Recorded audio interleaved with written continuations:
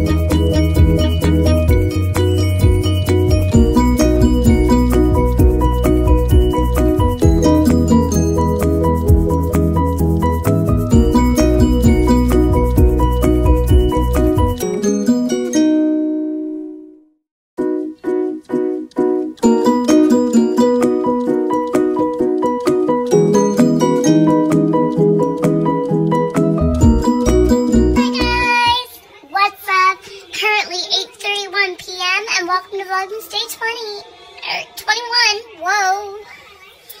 Oh my god, how is it friggin' day 21 already? I'll turn her off for now. The fix all that. This is a little not spaced out the way I want it to, but I'm trying.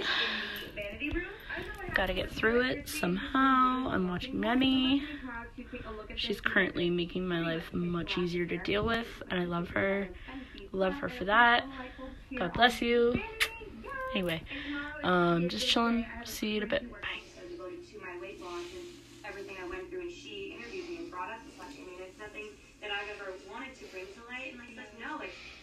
talk about this. And she brought it up in the episode.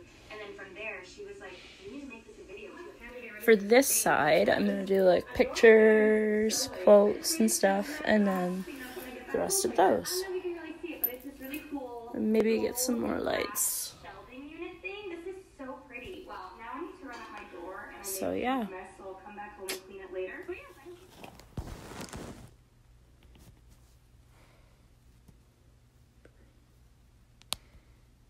Much better. Then I'm gonna get my PJs on, and I'm going to bed. I'm gonna snap first. See you in a bit. Bye. and Ernest T. Bass is up on that roof. I'm gonna ding him with one of these BBs out of his slingshot right between his fat little fucking eyes. Well, come to find out, he had learned a lesson. He wasn't up on the goddamn roof.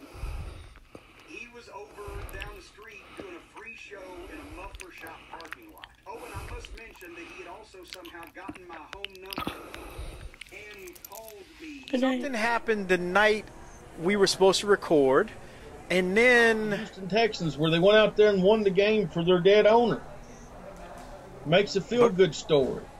and on Thursday night they showcased them to the world. That's what you're saying, Right. Doc. And, And, uh, and I don't know how many times last night they also said house and we were watching it. And I pointed it out to him. and he's like, My God, you're right. They're just standing there watching. They're telling people, get back, let him hang him. right, right, right. Like it's it's funny when you look at it all these years later because uh, you, you're older, you're wiser, and you think to yourself, maybe they should have did it, but maybe they should have involved the police to once they realize what Dirty White Boy is doing.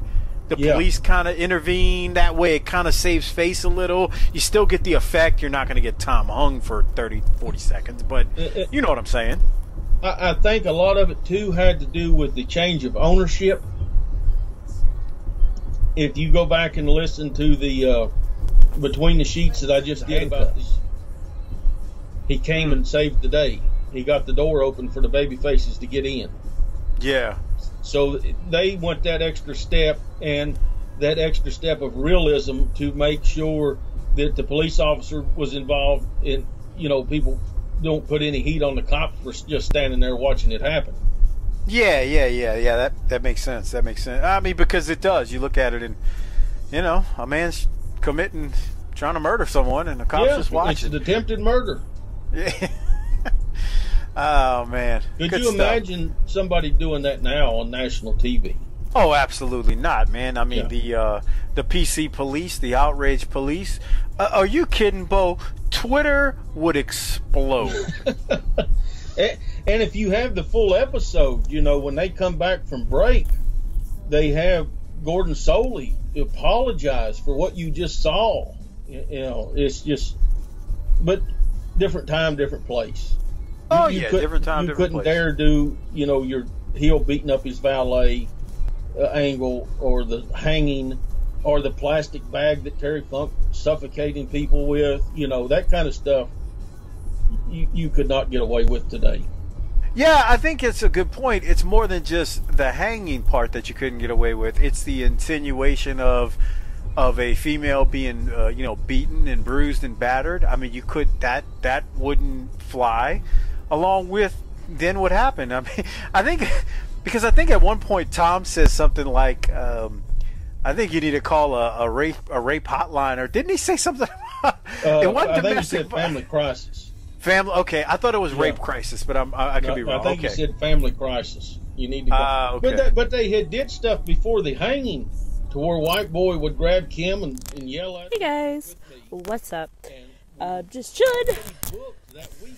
I'm so supposed to be tired. I need a nap. Night. A really big We were nap.